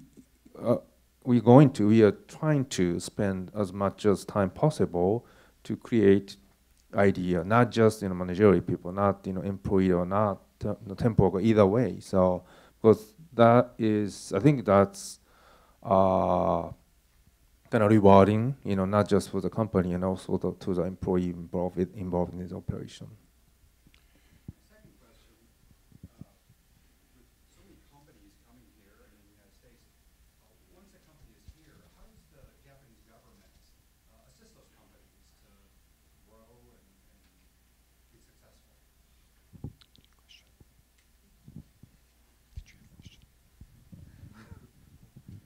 Uh, you mentioned about uh, a Japanese company in the U.S. So, uh, so actually, so Japanese Japan government government of Japan has so some so in, in the United States, besides our embassy, so some so some 19 uh, con- consult consult office, including Chicago consulting office is exist, exist.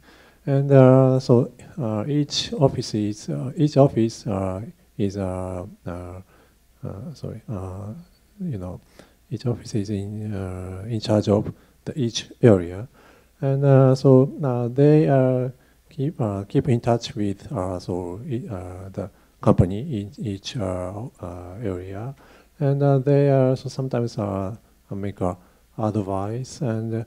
Uh, so make uh, sometimes uh, so some meet, so so sometimes PR so assist to our public relations to so advantage of uh, Japanese companies or Japanese work style.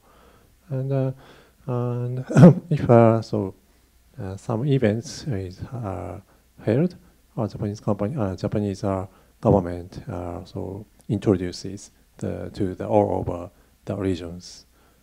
Yeah, thank you. So maybe that's a question addressed to the government. I think I feel bound to follow up to what my colleague uh, in the Washington D.C. talked about.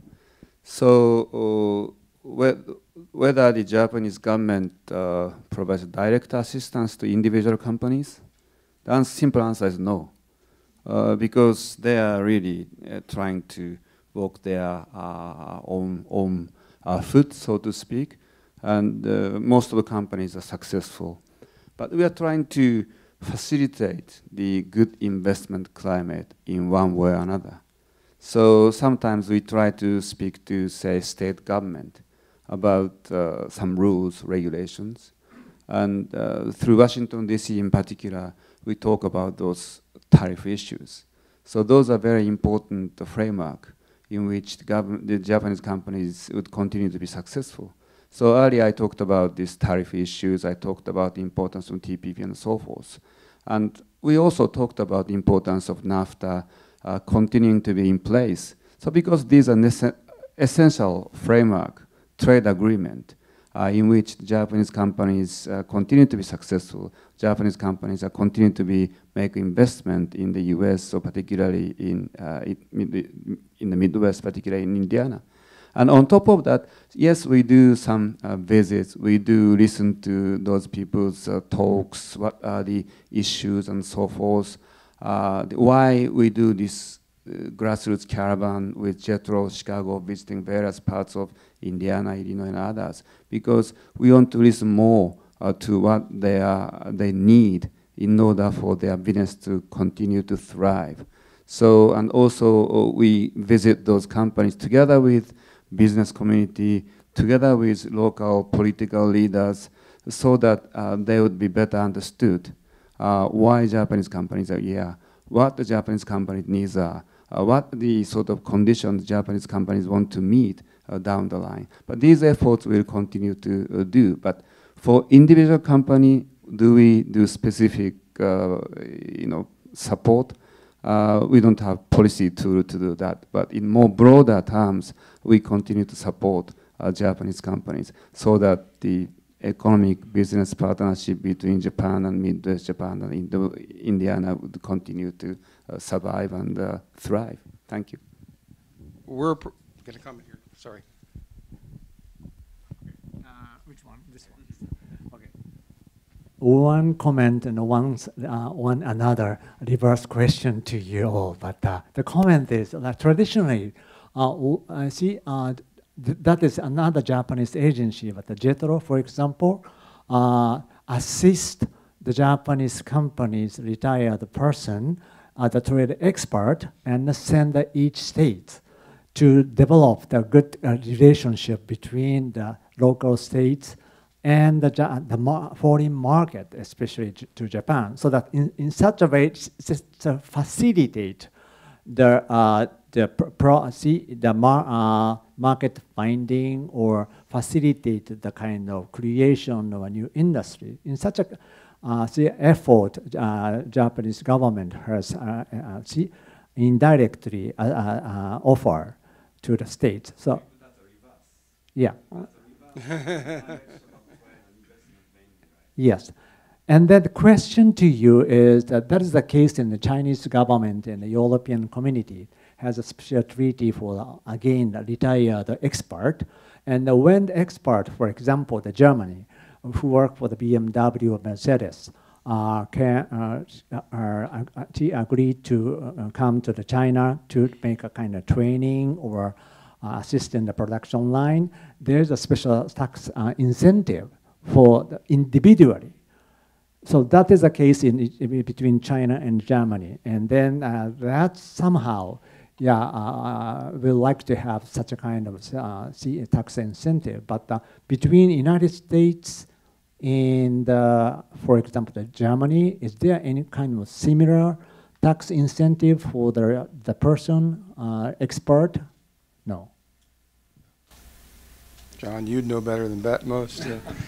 Not that I'm aware of. And um, I, I will say, and from, from, from the viewpoint of an economic development uh, professional, and I'm looking at Scott Naltner from Greater Fort Wayne Inc. and Keith Gillenwater with the Wabash, Grow Wabash organization, um, no other country has been so intentional about building relationships with the United States and the Midwest in particular uh, to make sure that there's alignment in culture and understanding and building of long-term relationships. Um, our relationship with uh, uh, Teresa uh, Kolzak and the, the, Japan Association with Indiana, um, all of these are efforts that Japan has been active in. It's, it's not just, uh, you know, oh, by the way, you've been intentional about building these relationships to support, at the end of the day, a business investment in our community. But I think it's a deeper friendship than just doing business in the communities that I really respect what Japan has done. And Consul General Ito has been over here uh, twice in the last few months. I mean, it's just been, um, it, it, it's very overt and very intentional and very planned, and I think very productive in terms of our relationship with Japan. Well, we've passed 4:30 here, so I'm going to try to make a few comments here to end up with here. Whether it be Japan company or American company, the one thing that we desperately need is talent. And what I find very valuable from today's discussion, for my purposes anyway, is learning a better cross-cultural element that we can include in our classroom so we can be working both with a Japanese company and our American companies as well. Last week I was at a meeting down in Florida for uh, workforce education. And one of our major speakers was a lady from IBM. They have an initiative called a New Collar Jobs Initiative. How many people are familiar with that? Very few of you, if none of you. Uh, Gina, Jenny Romanetti, who is president, CEO, and chairman of IBM, introduced the term a few years ago. New collar jobs are what we're producing here at Ivy Tech, pretty much straightforwardly. It's not a four-year degree. It's not a high school graduate. It's those individuals that have training with skills and soft skills to be in the workforce to help our companies, Japanese companies, American companies grow. They put a tremendous effort into developing this new collar job initiative right here. They're calling them new collar jobs. They're not blue collar jobs. They're not white collar jobs. They're new collar, probably no collar in most of these workers because they wear t-shirts, right, Lou?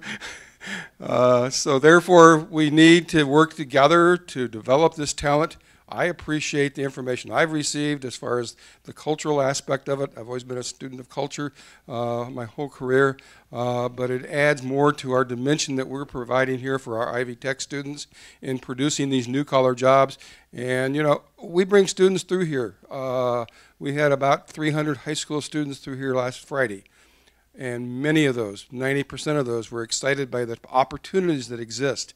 We've also got, another dimension we have to reach out to, and that's their parents, to convince them that these new collar jobs are not the blue collar jobs of the past.